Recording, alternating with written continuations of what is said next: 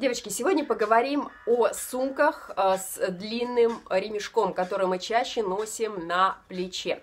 О плюсах, минусах, чем заменить, чем сочетать. Э, немного расскажу и о себе, о своем опыте. Активная современная женщина, будь то домохозяйка или работающая, э, она требует удобства и практичности. Действительно, это так. Порой надоедают эти огромные сумки, которые, кстати, сейчас в тренде. А, я не против того, чтобы иметь несколько сумок. А, это замечательно, когда у вас есть и шопер, и а, маленькая сумочка, и меховая для зимы, и так далее. Но, как правило, у нас женщин бывает, мы влюбляемся в одну сумку и носим ее в течение нескольких сезонов не замечаем, как у нас портится здоровье. Многие врачи это подтверждают, что если мы носим сумку на плече, причем тяжелую сумку, у нас деформируется вообще позвоночник, это действительно проблема. Порой даже вы э, спустя месяцы, годы смотрите в зеркало и наблюдаете, как действительно у вас искривилась спина. И не понимаете почему. Да, причин искривления позвоночника много. Это и сидячий образ жизни, и тяжелая работа, и так далее. Но, тем не менее, э, в большинстве своем это сумки. Мы еще носим каблуки, что э, еще более отягощает ситуацию. И да, э, кстати, всеми нами любимые сумки на цепочке, особенно в летний период, тоже вредны. Они буквально врезаются в кожу. Это не только некрасиво, но еще и способствует деформации плечевого отдела. Итак, а какие же э, лямки выбрать и как вообще носить? Э, не носите на одну сторону, меняйте чаще, не набивайте сумку до отказа, даже если она у вас маленькая и э, вместительная. Положите все необходимое. Со временем вы заметите, как это удобно. Если же у вас, например, работа, где необходимо э, положить что-то, планшет, например, вот та же сумка под названием планшет подойдет идеально, сумка в виде конверта, например, и носите по диагонали. Обязательно вот так вот через плечо. Сумка-почтальон тоже вместительная, практичная, подойдет э, на многие случаи жизни. Всегда нужно понимать, э, для чего вы берете сумку, какой у вас образ жизни. Если вы сидите в офисе, и вам нужно от дома до работы э, доехать, в данном случае подойдет маленькая сумка хоба или кроссбоди. Вот у меня были большие сумки, и я поняла, что я устаю от этих сумок, причем небольшие плечи, все это э, скатывается, постоянно поправляю, руки не свободны, это очень неудобно. Я взяла вот такую вот маленькую полумесяц, сумка хоба, а, два вот таких вот, а, две мини-сумочки соединены вместе, и, поверьте, вмещается все необходимое. А, я просто выбросила все, что было у меня в большой сумке, и здесь у меня кошелек, правда, большой пришлось заменить на маленький, но это не проблема. Кредитки, ключи, два телефона, все, более я ничего не кладу, ну и пару салфеток. Соответственно, это все, что нужно женщинам. Мы просто очень такие прагматичные, запасливые и берем э, все эти мелочи про запас, но напрасно. И э, все-таки маленький размер, он э, действительно для любого времени года. Вот если у вас э, работа, например, вы фитнес-тренер, в данном случае можете вообще взять поясную спортивную сумку или вот опять же по диагонали э, и носить э, с большой, большая сумка здесь все равно необходимо, потому как вы э, берете с собой спортивные принадлежности. Ну а если вы домохозяйка, вам в любом случае нужны свободные руки, это взаимодействие с ребенком, пойти купить что-то в магазине, в данном случае тот же вариант кроссбоди и хоба подойдет идеально.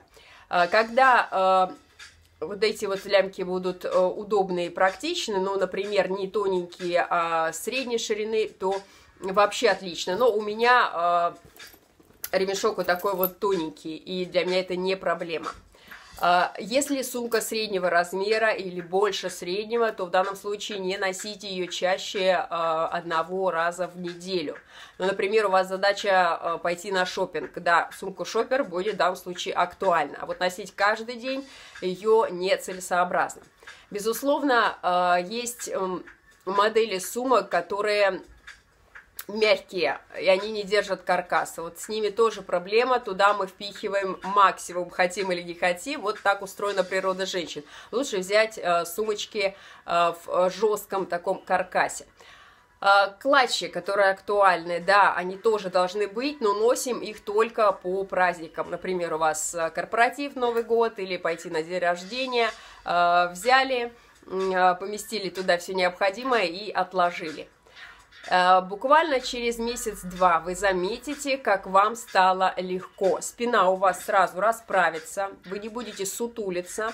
Э, просто мы не замечаем порой, да, не смотрим часто на себя в зеркало и э, не видим, как мы превратились в знак вопроса. Все потому, что мы вот как раз Э, скрючиваемся из-за вот этих сумок, пытаемся их удержать. Вот опять же, у кого широкие плечи, рекомендую заменить на рюкзак. Многие советуют, но у кого маленькие худенькие плечи, вот у меня такая конституция, даже занимаясь спортом, все равно плечи покатые и узкие.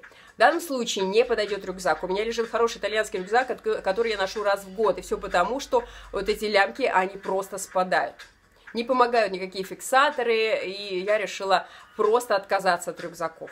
Все равно э, волей-неволей э, приходится носить э, на одном плече, деформируется все и на самом деле неудобно. Поэтому обратите внимание, рюкзаки, у кого маленькие хрупкие плечи, будут спадать, особенно если это зима, пуховик, материал скользкий, и постоянно мы поправляем. А когда мы поправляем, то что мы делаем? Мы постоянно вот делаем вот такие вот движения. Это тоже э, сказывается на нашей спине. Наша задача ходить прямо, освободить руки и вот огромный плюс в маленьких сумочках – это то, что они вмещают необходимое. И да, такой э, небольшой лайфхак, смотрите, чтобы внутри маленькой сумочки кроссбоди или сумка полумесяц, э, та же сумка конверт, было много разных отделов. Для чего это нужно? Ну, для того, чтобы не поцарапать, например, телефон ключами, чтобы вместить э, вот эти мелочи в отдельные кармашки. Вот, на мой взгляд, это все-таки удобнее. Когда один отдел, вы туда все впихиваете хаотично и э, даже в маленькой сумке порой долго приходится искать. А, документы. Вот я, например, не ношу документы, ну, мне неудобно. Возьмите скан, сдел... отсканируйте паспорт, и это уже сократит вес вашей сумочки. А, кто очень переживает за то, что э, скан это не совсем скажем так, э, правильно, пойдите к нотариусу, заверьте этот скан, и все будет правильно с точки э, зрения юридической. Поэтому э, минимально, минимально набиваем свою сумку и поверьте, что вам не захочется менять эти сумки на что-либо другое, если речь идет о каждодневном использовании. И да, сумку лучше выбирать качественную, из хорошей кожи.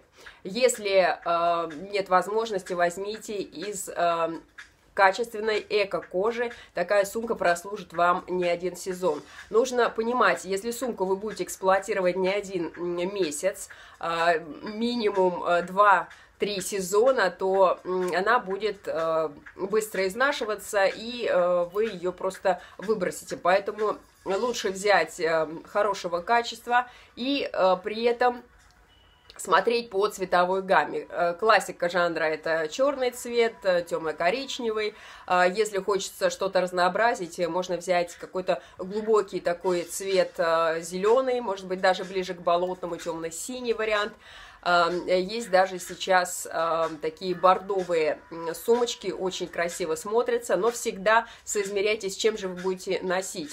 Э, этот цвет, если он подходит э, к вашей базе, подходит э, к капсуле, которую вы уже составили, то замечательно. Но и не забывайте также о том,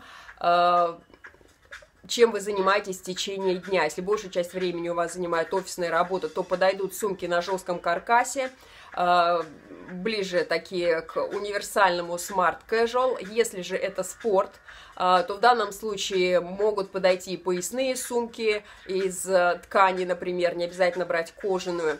В большей мере вы э, все равно носите дополнительную сумку э, более объемную, где складываете все свои тренировочные вещи.